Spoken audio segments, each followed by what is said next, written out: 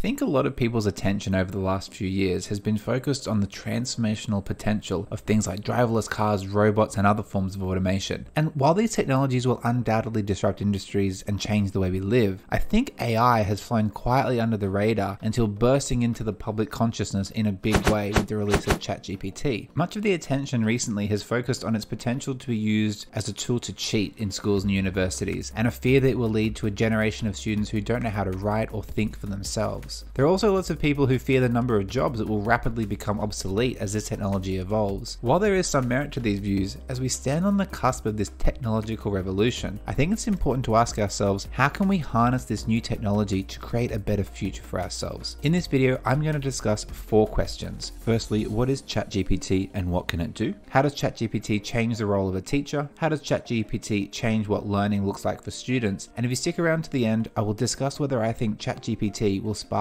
an education revolution. But before I get into that, let me take you back to a very important date May 11, 1997. It probably doesn't stand out to you as a particularly significant date. Quick Google search shows me that apparently the Broadway musical Play On ended its run at the Brooks Atkinson Theatre after 61 performances. But if I scroll down just a little bit further, I'm presented with a seemingly insignificant event that's listed on this website, oddly enough, as part of sporting history. On this day, the world watched on in awe as a seemingly impossible feat was accomplished. It was the day Deep Blue, a computer designed by IBM, defeated the reigning world chess champion Garry Kasparov. This was the first time that a machine had ever beaten a human at chess a game which had long been considered to be the ultimate test of human intelligence. The match between Deep Blue and Kasparov wasn't just a showcase of the progress that had been achieved in the world of computers, it was a glimpse into the future of artificial intelligence and its potential to outsmart and outperform humans in complex cognitive tasks. It was a turning point in the history of AI, proving that machines could match human intelligence while also raising serious questions about its potential to surpass us. This, of course, wasn't the first time that a new technology has stunned the world and sent shockwaves of intrigue and panic up the spine of civilization. From the Gutenberg printing press, which revolutionized the dissemination of knowledge and information, to the steam engine, which transformed transportation and manufacturing, to the internet, which changed the way we communicate and access information. These innovations have had a profound impact on the world and the way we do things. We should constantly be asking ourselves what technologies will emerge that continue to change the way we work and learn. And this is where ChatGPT comes in. So, to explain what it does, I thought I would ask ChatGPT to describe itself to us and this is what it said. ChatGPT is an advanced language model developed by OpenAI. It uses deep learning algorithms to generate human-like responses based on the input it receives. ChatGPT can understand and respond to various types of questions and provide information on a wide range of topics, including but not limited to general knowledge, trivia, current events, and more. Additionally, ChatGPT can generate creative writing, like poetry and fiction, and perform various language tasks such as translation and summarization. ChatGPT can assist in customer service, provide entertainment and help with research, among many other use cases. How does ChatGPT change the role of a teacher? Straight off the bat, I'll address the elephant in the room. Can technologies like ChatGPT replace teachers altogether? I'd say no. Anyone who thinks that some form of AI tutor could be used to completely replace the teaching profession probably hasn't set foot in a classroom in a little while. I'd like to see an AI computer keep a room full of children engaged in learning for six to eight hours every day. And if you prescribe to the model that AI will fuse with technologies like Neuralink to turn schools into some matrix-esque environment where information is downloaded into your brain, well, that's not really a world I want to think about. But let me know in the comments below if you think that'd be a cool topic to dive into with a video. Ultimately, the role of a teacher is complex, and I don't think teachers will be replaced by robots anytime soon. But the role of a teacher is filled with a number of tasks that could be enhanced, streamlined, or replaced by language-based AIs. And that's what I'll explore here. Much like when the internet first emerged as an everyday tool, ChatGPT can expand the knowledge and expertise of teachers. It can quickly summarize subject matter and synthesize the most important information on any given topic. This allows teachers to become confident in delivering lessons on a wider range of topics. It can confirm and reinforce what they already know, and ultimately help them put their ideas together. There are other simple tasks that ChatGPT can help teachers with,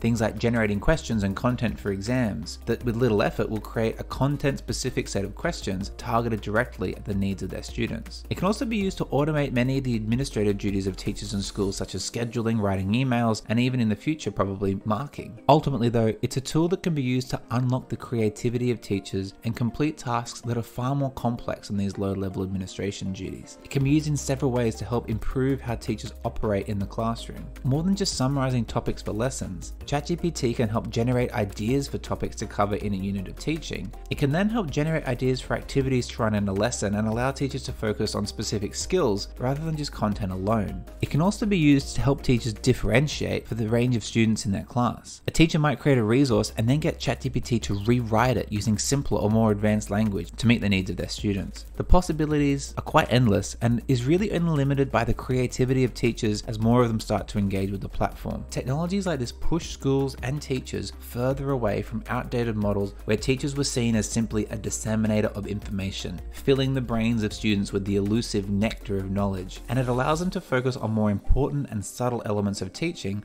like building relationships with their students, investing in their own education to develop more effective teaching practices, both of which will ultimately allow them to develop deeper and more complex capabilities in their students. How does ChatGPT change what learning looks like for students? Now let's look at how ChatGPT can be used by students to improve the way they learn. The elephant in the room for this one is that students can use ChatGPT to write essays for them, and if used in the wrong way, this technology will do a disservice to students and negatively impact their learning. But the same thing could be said of the internet. Students can use the internet in a number of ways to plagiarize essays, take shortcuts, or cheat, but that doesn't mean we suggest disconnecting the internet in every school. Schools have to accept that these tools exist. Trying to ban them or simply staying quiet about them and hoping that students don't use them is a recipe for disaster. If students are forced to use these technologies covertly, it will inevitably lead to cheating and other unethical uses. Schools should embrace the technology and help students learn how to use it effectively and ethically to enhance their learning. So, how can it do that? Firstly, it will dramatically increase students' ability to complete any task that involves researching and summarizing information. It can be used to help research topics and generate reputable sources of information very, very quickly. This should make the task of preparing to write an essay much easier.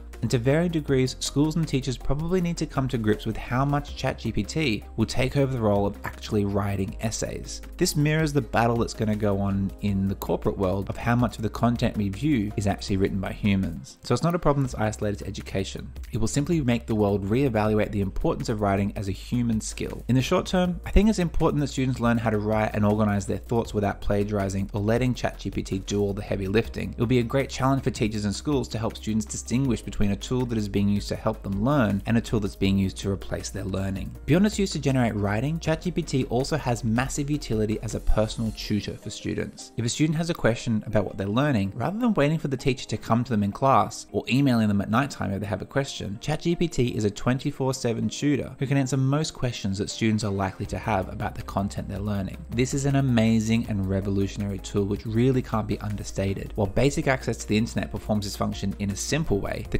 of the questions that ChatGPT can successfully answer is much greater than a regular Google search. Similar to how teachers can use ChatGPT to make quizzes for their classes, students can use it to generate their own practice tests or flashcards that they can use in their own revision. On top of this, students can use it to provide feedback on their work. Instead of asking ChatGPT to write the essay for them, or to rewrite their own essay and fix all the mistakes, students can ask ChatGPT to take on the role of a teacher and give them feedback by pointing out any factual errors, points they've missed, and help them to correct any errors in spelling, grammar, or expression. Having access to a personal AI tutor will completely transform and expand the way students learn across the world, both in and out of school. So, now let's get to the fundamental question Will ChatGPT spark an education revolution? Whenever I try to conceptualize change in the education system, I tend to think of a continuum. On one end, you've got a model of education that is based on standardization and conformity. This is the stereotypical description that is sometimes used to describe education systems that rely heavily on standardized tests and standardized curricula. On the other end is an education system that is completely focused on individualized learning,